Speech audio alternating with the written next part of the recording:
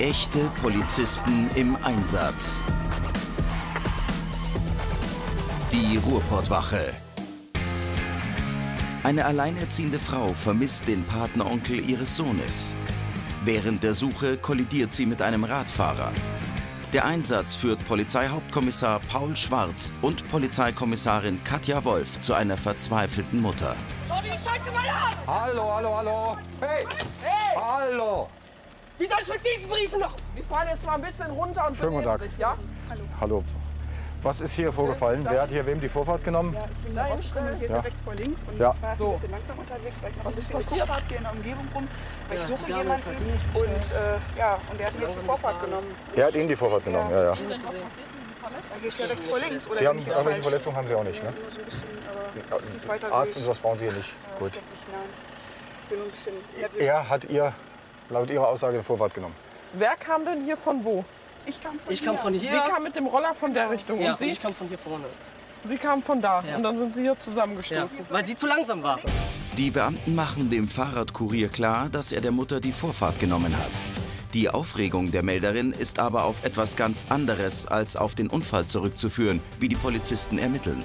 Ich bin einfach ein totaler. Brauchen totaler Sie denn einen. Arzt oder ist Nee, ich brauche keinen Sie sind am Arm Arzt. verletzt, ne? Ja, Passt aber schon. das ist nicht wild. Ich Nur bin- geschürft? Ich bin, ja, ist nur geschürft. Aber soweit geht's Ihnen gut? Ja, ich bin nur total durch den Wind, weil mein bester Freund Roland, der, wir waren verabredet im Café vor über einer Stunde und Ja. er ist nicht gekommen und deswegen bin ich jetzt hier die Wege Haben Sie abgefahren. versucht, ihn zu finden? Und äh, geht auch nicht an sein Telefon. Und das, Und ist das irgendwie eigentlich, ungewöhnlich oder ist das das, ist total Sorgen ungewöhnlich, weil Roland ist der zuverlässigste Mensch, den ich kenne und das ist eigentlich so mein wichtigster Halt. Und es ist Haben Sie irgendwelche Anhalte, dass Sie meinen, dass es jetzt so besorgniserregend wäre, dass Sie ihn jetzt Ist der irgendwie krank oder so? Oder? Nein, überhaupt nicht. Überhaupt, ist überhaupt nicht Ich eigentlich. stelle mal Ihr 1327 Fahrrad hört. eben an den Rand, ja? Äh, 1327, ihr seid noch. Äh, Da können Sie jetzt erstmal nicht mit weiterfahren. 11, richtig? Ja, wir sind noch bei der VU-Aufnahme. Ja, ich habe eine Amtshilfe äh, erbeten von der Bundespolizei. Und zwar, da ist doch direkt bei euch die Bahnlinie, die Bahntrasse müsste lang führen. Ja, ist korrekt. Ja, pass auf, äh, der Zugführer des Regionalexpresses von Köln nach Essen hat an Kilometer 124, das ist laut meinen Recherchen direkt an der Unterführung, wenn ihr durchgeht rechts, gemeldet, dass da wohl ein Passant im Gleisbeck li- liegt. Also der muss entweder im Gleis oder am Gleis selber liegen. Der Zugführer hat äh, eine Beschreibung nur eine rote Hose wahrgenommen, eine dunkelweinrote Hose. Alles klar, verstanden. Roland hat, Roland hat eine weinrote Hose, die hat er so gerne an bei dem Wetter. Es ist ja so warm und wir waren verabredet und wenn er jetzt nicht gekommen ist, also das macht mich nervös. Beruhigen Sie sich, wir schauen jetzt erstmal nach. Die Ermittler halten es für möglich, dass die Person aus dem Zug geworfen wurde. Die Absuche seitlich der Gleise bringt schließlich schreckliche Gewissheit. Roland! Roland! Die Kollegin sagte, Sie sollten eigentlich ein bisschen hinter uns bleiben, gell? Roland! Wir-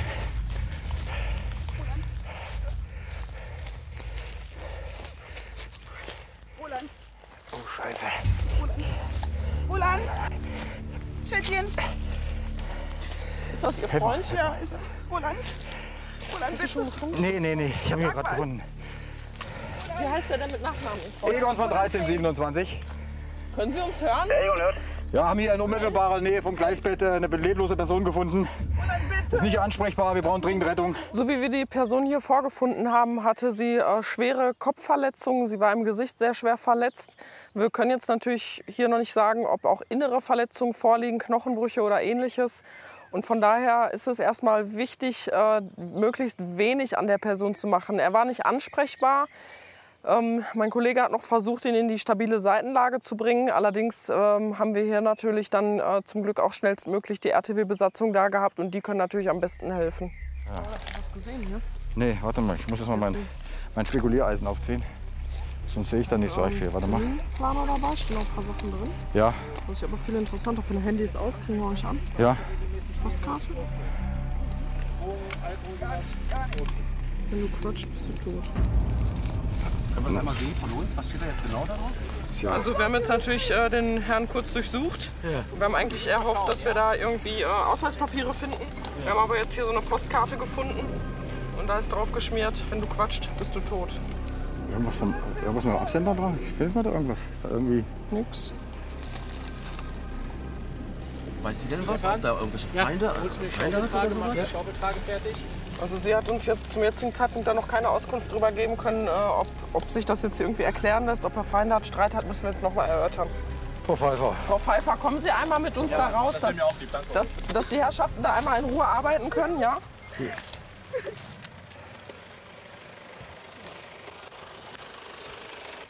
So, wir gehen einmal da vorne in den Schatten. Wissen, wissen Sie, warum er in solche Situationen jetzt gekommen ist? Was er, was er überhaupt hier oben will? Nein, gar nicht. Sie, Sie wollten sich doch irgendwo treffen im Café oder was Ja, hatten wir Sie gesagt, ne? Kaffee treffen. Ich habe heute früher Feierabend und er hat vorhin noch geschrieben, von der, also angerufen von der Arbeit aus und sagte, Mensch, wie sieht's aus? Ich habe auch früher Schluss, wollen wir uns nicht auf einen Kaffee treffen Ja. bei dem warmen Wetter. Und hat er mit irgendwem Theater, irgendeinen Streit, Konflikte, Geldprobleme, Arbeitsprobleme, irgendwas, dass Sie nicht- sich erklären können, dass er mit irgendwem Stress hat? Hat irgendwann mal, wir haben vor zwei, drei Tagen geschrieben, dass er mit irgendeinem Peter wohl irgendeinen Disput hat oder irgendwas. Aber was Mit einem genau Peter. weiß ich nicht. Okay. Ich kenne den nicht. Aufgrund der Aussage der Frau könnte möglicherweise der Mann namens Peter hinter der Drohung stecken. Im Kalender des Verletzten entdeckt Polizeikommissarin Katja Wolf einen Anhaltspunkt. Hier steht jetzt ein Peter drin. Ist das der Amgrau? Das weiß ich nicht. Ich hatte- Können Sie nicht sagen? einem Peter geschrieben. Wir haben, wir haben, wie gesagt, per, per SMS geschrieben. Ich kann Ihnen das gern zeigen. Auf dem Weg dahin haben wir das hier wahrscheinlich im ersten Mal übersehen. Da muss also nicht direkt am, am Gleis gewesen sein, sondern das sind die Blutflecken. Die habe ich eben bei hat sich auch so wie der lag hier nicht noch rübergeschleppt, ne? Meinst? Ja, der muss ja von irgendwo hergekommen sein. Guck mal, hier vorne ist auch noch was. Ja, ja. Und da hinten liegt ein Schuh. Habe ich eben gerade gesehen aus dem Augenwinkel. Wo? Hier. Also nach den äh, Spuren, die wir jetzt hier vorgefunden haben, sieht es nicht so aus, als wenn er von da oben irgendwie runter äh, ins, in der Nähe vom Gleisbett gefallen wäre, sondern dass er von hier aus versucht hat, jemanden vielleicht zu fliehen, von jemandem wegzulaufen und dann äh, gestürzt ist oder wie auch immer, vielleicht da verprügelt wurde und dort zurückgelassen worden ist, das weiß ich jetzt nicht. Ich muss erst mal nachschauen. Nachher. Aber ihn kann man ja nicht dazu befragen, er ist im Moment hier nicht ansprechbar. Von den Sanitätern ermitteln die Beamten, dass die Verletzungen des Patenonkels vermutlich von einer Schlägerei stammen. Die Polizisten nehmen an, dass es sich bei dem Täter um die gleiche Person handeln könnte, die dem Freund der Frau zuvor gedroht hat. Ihr Freund wird jetzt erstmal mit in die Uniklinik genommen, ja? Der wird da erstmal medizinisch versorgt. Nein, Sie können da nicht mit. Schauen Sie mal, da ist jetzt so viel zu tun. Da würden Sie jetzt Ihrem Freund wirklich nicht helfen, wenn Sie da jetzt auch noch rumstehen, ja? Wichtig wäre, dass Sie mit uns mitfahren. Warum? Weil wir natürlich jetzt hier wissen wollen, was hier passiert ist. Wir wollen das ja aufklären, ja? Die Streifenbeamten ermitteln, dass der Verletzte als Pharmazeut arbeitet. Die bei ihm gefundenen Gegenstände werden von der kriminaltechnischen Untersuchung inspiziert. Der Fall wird von den Kriminalhauptkommissaren Klaus Schäfer und Frank Steffens übernommen und die machen mehrere Tatverdächtige aus. Kam er nicht zur vereinbarten Zeit oder Nein. warum haben Sie ihn gesucht? Ja, die, weil ich war über eine halbe Stunde zu spät und dann habe ich ihn versucht, ein paar Mal anzurufen und habe auch geschrieben und da kam auch keine Resonanz drauf. Und das ist überhaupt nicht, das ist überhaupt nicht Roland. Hat er denn mal irgendwas erzählt, dass er Probleme hat? Vielleicht auch nur gesundheitlicher Art? Nee, eigentlich gar nicht. Überhaupt Depressive Verstimmung nicht. auch Nein, nicht? nein, kurz. Ja, Äh, die Auswertung läuft noch. Handy ist noch bei der KTU. denke ich. Die haben mal ein äh, Video gefunden, was in den Tatzeitraum passen könnte. Das ist drüben äh, auf den Fernseher gespielt. Gucken wir uns das Auf mal Datenträger, ne? Ja, guckst du das mit uns dann an auch? Ja, klar. Äh, hast du einen Kollegen mal hinschicken, der auf Sie aufpasst? Weil Ja, mach ich mal. Hier steht irgendwo drin von Amtsgericht am Donnerstag. Amtsgericht Duisburg ein Termin. Die Kripo-Beamten vermuten, dass die Tat etwas mit dem bevorstehenden Gerichtstermin zu tun haben könnte, der im Kalender des Verletzten vermerkt ist. Das Video zeigt den Kommissaren den Moment vor der Tat. Das ist da die Straße, wo wir waren. Keine Ansage. Nächsten Donnerstag Fresse halten angesagt. Ist das klar? Ja, ist das okay. Das gibt jetzt einen kleinen Vorschlag. Da weißt du, was Schuhe und die Hose, ganz klar. das war der, das war der. Passt ja auch zu dem Eintrag in dem Buch mit Donnerstag, ne? Habt ihr die anderen beiden gesehen, weil das ja kurz davor gewesen ist? Sind euch nicht mal. Wollen Sie vielleicht mal fragen, ob Sie die kennt? Soll ich die mal? Spricht eigentlich nichts dagegen, dass sie das mal mitguckt, ne? Ja. Die Freundin des Verletzten kann keine sachdienlichen Hinweise zu den Männern liefern. Die Ermittler wollen zunächst den weiteren Verdächtigen namens Peter vernehmen. Die Taktik der Kommissare, die Handschrift des Mannes mit der auf der Drohung vergleichen. Roland hat heute eine etwas unangenehme Art der Begegnung gehabt. ist zusammengeschlagen worden, ist bewusstlos im Krankenhaus und er ist nicht ansprechbar. Und wir haben einen Namen Peter, zu dem wir das Wort Streit packen können. Weil wir haben eine Aussage, dass Sie mit dem Roland Streit haben. Ja, wir haben uns den Peter natürlich angeguckt. Er war sehr ruhig. Und äh, ja, bei einem Gewaltdelikt äh, ist man nicht ruhig. Man bewegt sich, man hampelt, man zappelt. Irgendwas kommt auf einen zu, man weiß es nicht. Man wird auch nervös als Täter. Er war auffallend ruhig. Naja, und dann mussten wir nachhaken. Also, ich, das ist mein bester Freund. Ihren Namen, Ihre Adresse und Ihre Telefonnummer aufschreiben, wie wir Sie erreichen können? Ja, natürlich. Möchte Sie nicht durcheinander bringen, aber worum geht es denn im Streit? Äh, das, das ist nichts, nix, äh, eigentlich um, um gar nichts. Trotz erneuter Nachfrage verheimlicht der Verdächtige den Grund der Auseinandersetzung.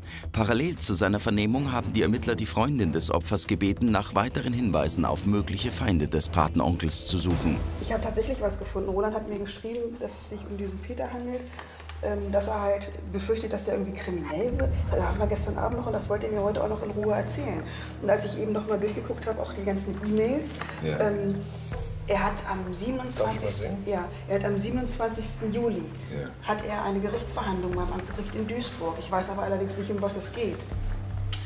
Das haben wir doch gerade in dem Kalender auch gesehen, ne? Das haben wir in dem Buch gesehen. Ja. Hinten Genau, er Donnerstag, Gerichtsverhandlung. Und Sie meinen, Amtsgericht Sie meinen, das hat was mit dem Peter zu tun? Ich weiß es nicht. Wie hat gesagt, Was steht denn da drin? Menschen ändern sich, Punkt. Peter wird, glaube ich, kriminell. Eine lange Geschichte. Erzähle ich dir mal so in Ruhe. Ja, das war Aber gestern Abend. hat er nicht getan. Nein, wir wollten ja, deswegen wollten wir heute auch Kaffee trinken. Wir wollten mir das ja alles in Ruhe erzählen. Die Kriminalbeamten werten den Schriftvergleich des Verdächtigen aus und kommen zu einem eindeutigen Ergebnis. Ihr Vorgehen direkte Konfrontation.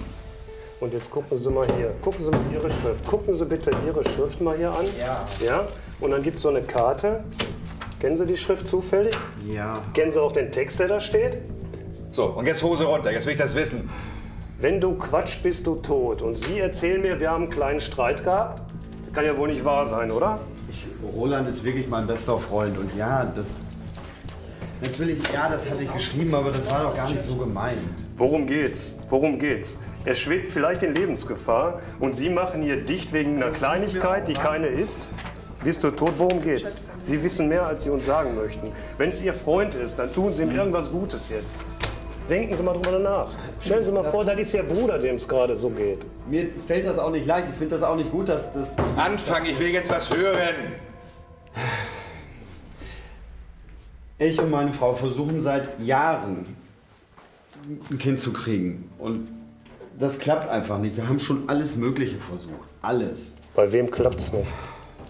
Bei meiner Frau. Meine Frau muss in dem Moment, wir haben jetzt alles Mögliche versucht, da ist schon mein ganzes Geld irgendwie draufgegangen. So, und äh, ähm, ich weiß ja, dass Roland äh, in der Pharmafirma arbeitet. Und, Ja, und wir hatten auch schon mal drüber gesprochen. Ich hatte ihn einfach mal gefragt, Mensch, äh, ob er mir da irgendwie helfen kann. Weil wir haben kein Geld mehr dafür und irgendwann geht es ja auch einfach gar nicht mehr. Und, und er hat genau das Präparat ähm, auf der Arbeit, mit dem er da zu tun hat, was wir eigentlich brauchen. Die Kommissare ermitteln, dass der Verletzte seinem Freund die Hormone nicht schwarz geben wollte. Aus Wut und Enttäuschung schrieb der Verdächtige daraufhin die Drohung.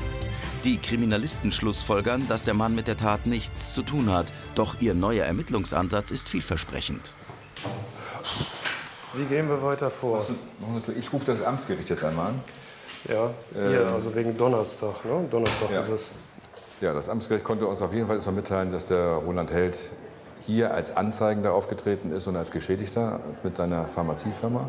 Er ist bestohlen worden. Und die beiden, die beschuldigt worden sind, dass er sie bestohlen hat, ist ein Fritz Ziegler und ein Jan Zanker. Ja, wir haben uns natürlich dann sofort dran gemacht und haben uns diese beiden Figuren angeguckt. Und dann haben wir beide gesagt, oh, ein Volltreffer.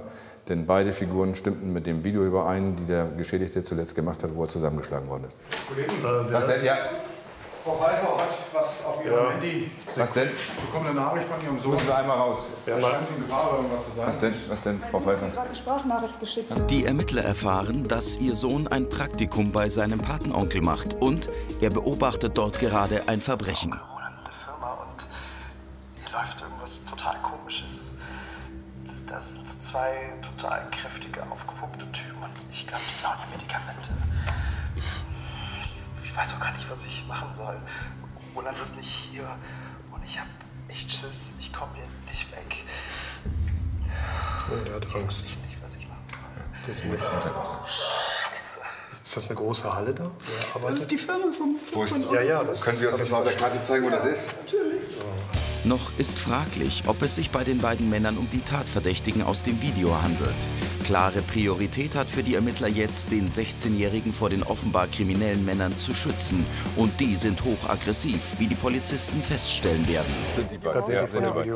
Sollen wir mal fünf Meter vorweggehen? Und ist das okay? Und wenn was ist, dann Weil dann uns erkennen die als Polizei noch nicht. Hoffe ich jedenfalls. Okay? die Gehen wir gucken mal. schon gerade so ein bisschen. Und wir gehen einfach, wir gehen diagonal rüber und wenn wir den so halbwegs abgeschnitten haben, geben wir uns zu erkennen, oder? Alles klar.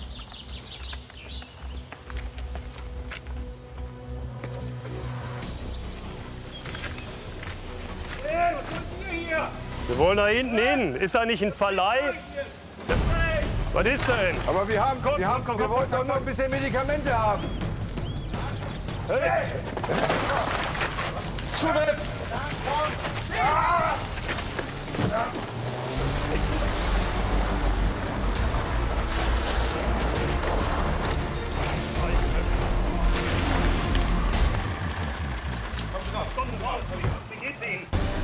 Bei dem Duo handelt es sich um die Männer aus dem Video. Die Polizisten nehmen beide fest und wollen umgehend nach dem Sohn suchen, denn der könnte von den Tätern schwer verletzt worden sein. Ist da noch jemand in der Halle drin? Ich sag gar nichts mehr. Hör zu, wenn da jemand verletzt ist oder so, gibt es ein großes Problem für Sie.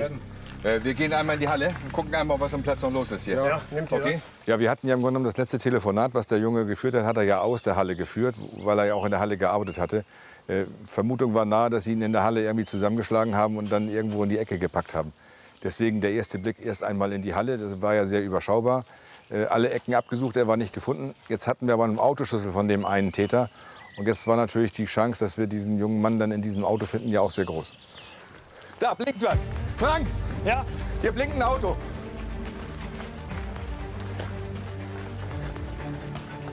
Ist am Auto. Hier liegt er im Kofferraum. Oh Mann. Ganz ruhig, ganz ruhig, ganz ruhig, ganz ruhig. ist auch an den Füßen gefesselt. Ja, ja, ich habe ich hab ihn gleich los hier. Kriegt er Luft? Luft genug? Der Sohn ist verängstigt, aber offenbar unversehrt. Die Kripo-Beamten vermuten, dass die beiden Täter den 16-Jährigen entdeckt hatten, als er diese bei ihrem erneuten Diebstahl beobachtete. Alles klar? Und der RTW rollt für ihn, damit er eingeladen Ja. Den können wir ja schon mal dann verfolgen. ja. Das heißt, äh, das geht jetzt wie weiter hier? Ja, die beiden sind auf jeden Fall festgenommen. Der müsste einmal dem Arzt vorgeführt werden, ob er transportfähig ist. Ob er nicht doch noch irgendwo ein Schleudertrauma hat, weil er, der Sturz war ja doch etwas, etwas unangenehmer.